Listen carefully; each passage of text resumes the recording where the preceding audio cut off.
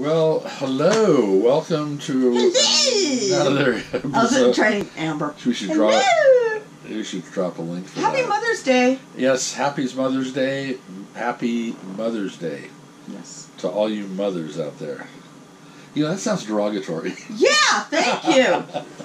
See, so that's what you think of us. yeah, this is the day for all you mothers. Okay. You could edit that crap. I'll I'll edit it. Okay. Yeah, I'm sure you will. And here's the edit. This is the day for all you mothers, mothers, mothers, mo- mo- mo- mothers.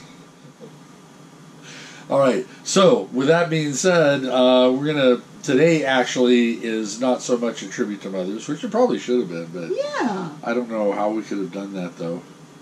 What would you do without us? everyone has left. How Well, yeah. many times do I hear Dawn? Where's this? Mom, Okay. mom. Well, you know, let's get the main title out of the way, and we'll continue this conversation after that.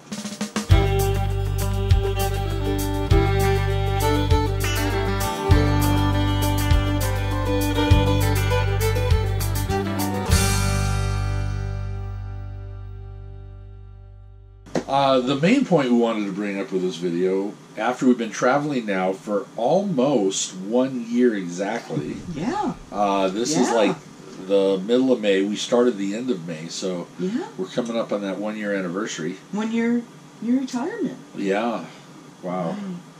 And what a, What a year! what a I- I- year! it's so different. You know, now. it, it, it was absolutely nothing compared to what we had planned. However, we wanted to talk about with one year of travel. Uh, we did do a video of the must-haves for the newbie RVer. If you're just starting out on RVing, there's things you need to have. We're not going to talk about that stuff. What we want to talk about right now are the top ten things That we feel. that we feel Right. are uh, we definitely are glad we're traveling with these things. So basically, uh, we're going to go over those, and Dawn has her top ten, and I have my top ten, and then we probably have a few honorable mentions because I think I have more than ten. So let's go ahead and start it out. So what was your what's Well, my first thing is my blow dryer. Thank you very much. I, you know, short hair. It, it works sometimes to just let it dry when it's 107 degrees out, like it's been here right now. Um, well, actually, we're 101 today, so that's not too bad. But um, I want my blow dryer.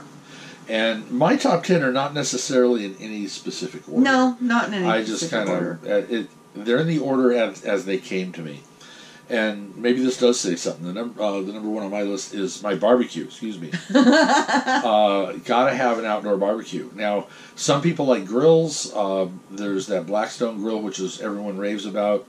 I personally really do like my little um, Coleman uh, barbecue. It has its own stand. I am planning on picking up the griddle top for it, uh, but um, yeah, Yeah. gotta, gotta have the barbecue. Um, I would say my next thing would be my talking about cooking. Okay, my crock pot, and and my and my um, what's the other Oh, one? Instapot? My Instapot. I like those. I'm thinking about getting an air fryer though. Everyone is raving about them, and and and I know Leanne, a good friend of ours, Leanne and Larry. We love you guys. Miss you. Be careful in Washington. Um, they rave about their their Yeah. air fryer. So I'm thinking about an air fryer too. But Now- my crock pot and and all of that, I and Instapot is I need those. Those Mind are you, great. Mind you, if you're a weekend warrior, don't carry all this crap. No. Uh, stuff. don't carry all this stuff if you're a weekend warrior. No crap. But if you're doing, if you're contemplating full time, um, yeah, you got to have certain creature comforts. You got to have certain things that kind of. Well, you know what? Here's the home. thing, though. Even if you're a weekend warrior, to have a crock pot or an Instapot is really cool because you can go and do stuff and you're not Your dinner's stuck. ready. Yeah, dinner's ready ready, when you you get back. Yeah. So a crock pot or an Instapot are great, or the barbecue are great for even weekend warriors. They really are. Now, my next one, I, I almost gave it away. Probably did is the generator. You Mm. got to have electricity uh, when you're traveling, and you don't always want to be locked down to um, full hookups or even partial hookups. Yeah, especially if you're boondocking out by the river fishing or, or Well, by the lake. Madison you know. Campground in Come on. Yellowstone. There was no electrical hookups in Right. Madison. we ran into some problems, and thank goodness uh, we had someone who let us borrow their generator to help keep those batteries up. Yeah. Um, I would say, um, you know what? My music. I miss my music. And when I say my music, I've got CDs of, of Celtic Thunder. I love that. And and when I'm cleaning, I have certain things I like. Enya, um, a lot of that stuff. When I'm cleaning the rig, doing stuff like that, I don't always like what's on the radio, plus all the commercials and stuff. Yes, I have, you know, what is it on, on my phone? I have um, what is it? Sir, Siri and so I'm sorry, Sirius, whatever, Sirius. Um, but I I do miss just my own music, things I like and and enjoy. And I'm glad you mentioned music uh, because I like traveling with musical instruments. Uh, I did have to pare down. Takes up room. Yeah, I did have to pare down. I do have my acoustic guitar. It sits out most of the time. Uh, I have some harmonicas. I've started uh, picking up harmonica now. That's a lot of fun. really good. Uh, we Yes. have. Um, I do have uh, my Shorty electric bass, and I just recently picked up the Shorty guitar, the little travel guitar and travel bass, and a Those small amplifier. Right? Hoffner. Hofner. Oh my gosh. Yeah, Hofner. Um, I I am. We're not traveling through the south this summer, so I'm going to basically uh, leave my banjo um, in storage while we're gone for this this next go around.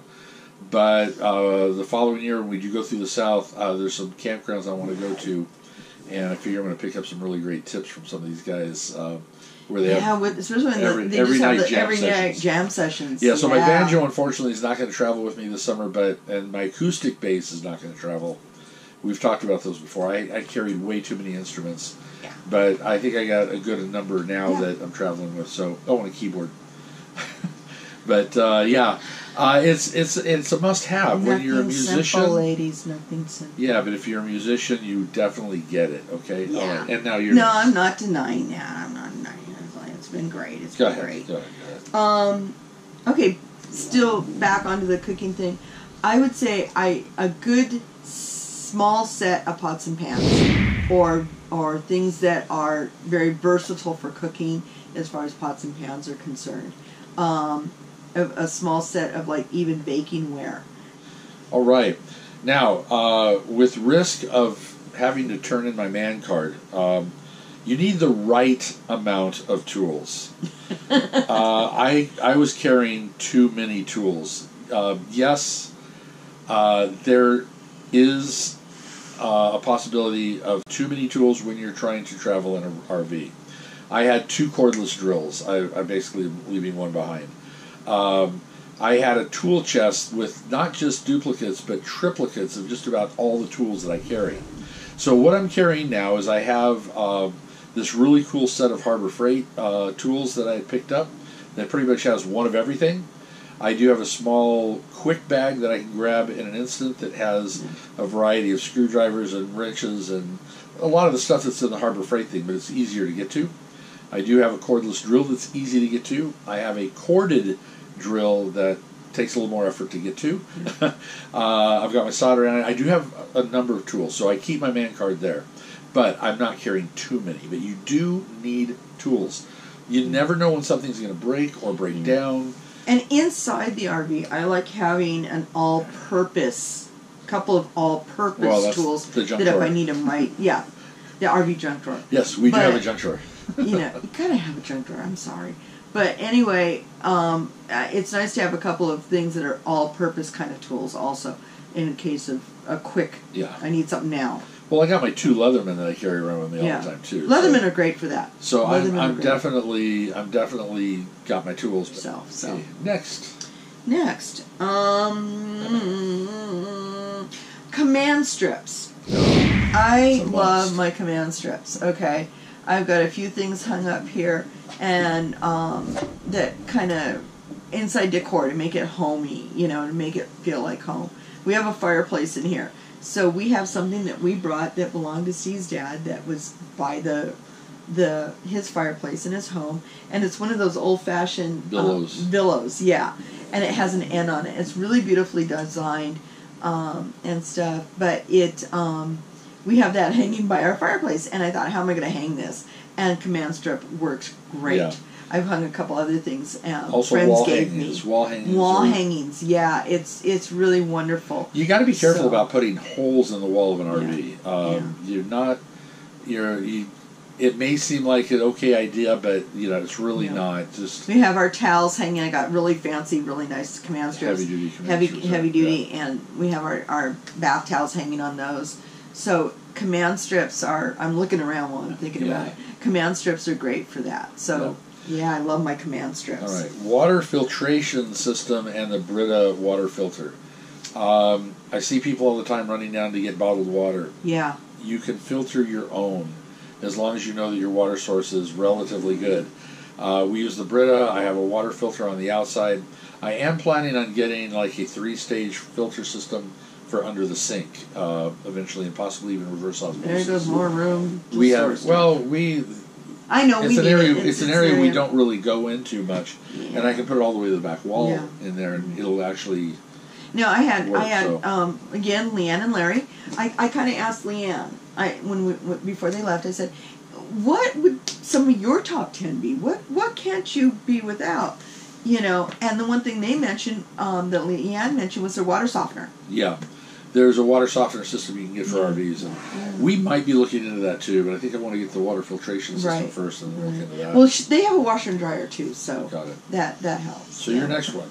My next one, um, again on command strips, family photos, so that I can put up. You know, I've got a photo of, of the kids here and some other stuff. Not a lot, but just a couple of photos that you know we can have out. One thing that um, our future daughter-in-law Christina gave us a couple years ago for Christmas was one of those photo frames that is changes the Digital, pictures, yeah. digital photo frame, and I love it. That's that's perfect. So um, of course you got to be plugged in for it, but I love it. It's great. So we have our digital photo frame, which is wonderful. Cool.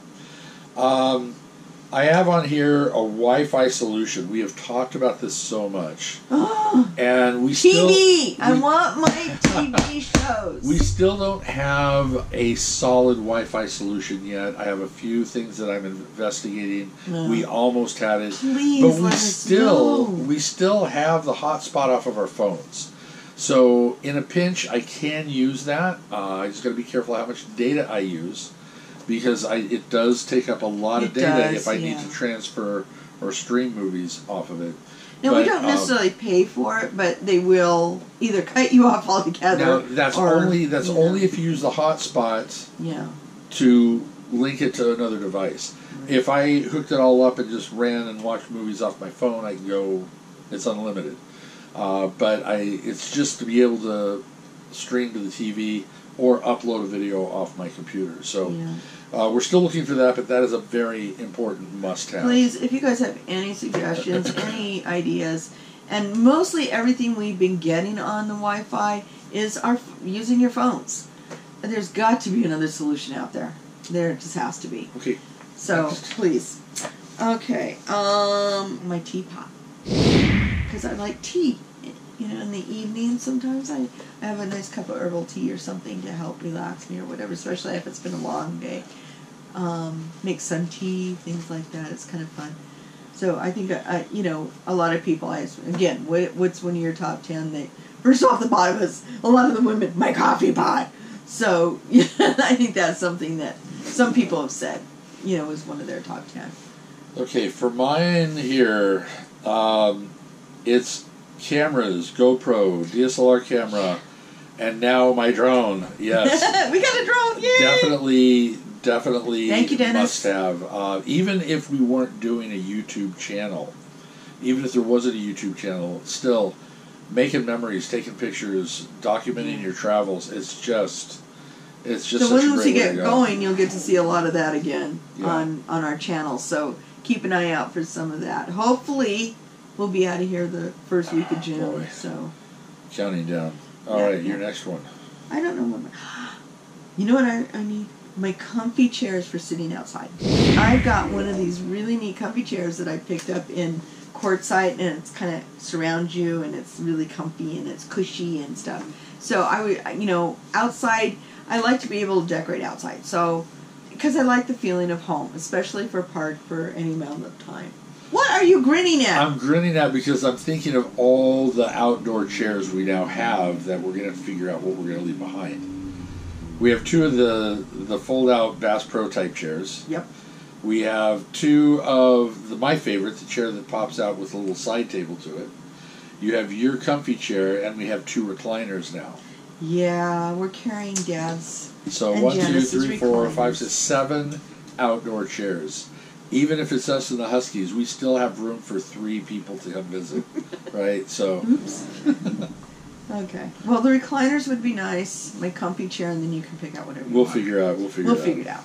But Okay. anyway, Okay. Uh, one thing that I picked up, uh, you know, when we had the flat tire, I was really concerned because it's just a pain. First of all, I had to find where the jack was for the Oh. truck. It was kind of hidden away, and yeah, they forgot to tell us. it's a was. little. I'm a little nervous with those little jacks. Uh, so we actually, because we have the long bed uh, turbo diesel with a long bed truck uh, bed, uh, I picked up a floor jack, a three ton Harbor Freight floor jack. Harbor Freight is great. And I really am glad we're traveling with that. I feel far more comfortable. And I also have some jack stands, the floor jack and jack stands. So if we ever have a problem on the road, um, I'm not going to feel so nervous about it. Just whip that thing out of the back of the truck and jack it up. Well, and then- I also we we signed up again for good the Good Sam, This time you have roadside and this assistance. time because I thought we had it before, and I thought our insurance had it. I, I thought it was one or the other. Neither one of them had it.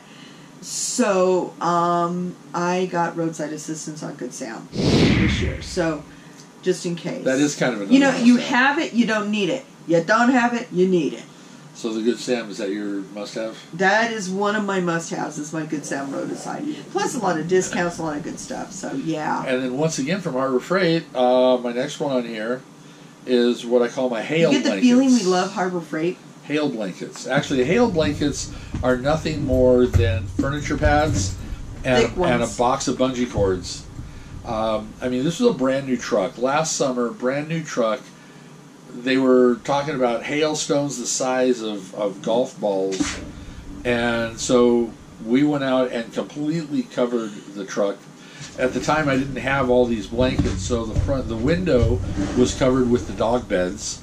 We had this big old heavy blanket that Dawn had over the roof. I had what what furniture blankets we did have over the hood, and uh, you know we thought, okay, we're going to cover it. Well, now I have a, a emergency box of all this stuff that if we have hail coming, we just cover. Well, what I up. thought was funny is we've got the truck covered with the blanket, not you know with the hail blankets or the the furniture covers, and everybody in the park we were we were in Box Elder at the time, and our neighbors came around going, "Oh my God, that was a great idea! Where'd you get Well, those?" first they were kind of laughing at us Yeah. about it, and then they thought, "Wow, it's a great idea."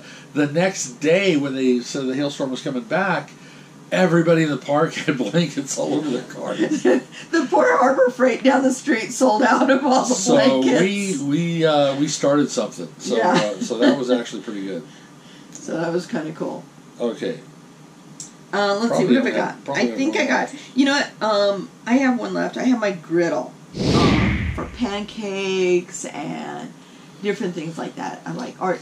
And what's really cool, one of the neighbors here, we have twice a year. Well, we didn't have it twice because of the pandemic this year, but we got the first one in the fall, and we have like a little um, garage sale. garage. It's it's a community garage sale thing, and so my neighbor across the street had this little griddle. Um, well, not a griddle. It was a, a waffle No, it's a maker, waffle maker. which is really cute, perfect for for RV size. So I got that, and it's great. And so I have my little waffle maker, and I have a really nice griddle, um, electric griddle, which is great. So I do like those things. Uh, I don't But use them as often as I should. If you probably, do wind up with a but- Blackstone, you wouldn't need to carry a separate griddle. I would love to get a Yeah, Blackstone, Blackstone. actually. I just don't know where I would store that. Again, thing. Larry, you know, Leanne and Larry, I, I they love don't their know where I would Blackstone. store that because it is much bigger. Our griddle is really small and No, they had flat. smaller. I saw smaller Blackstones, but you know what? We'll, we'll And- work on that one. And I have one left, um, and that is the electric cordless fan. They, you know, battery operated or it could be plugged in.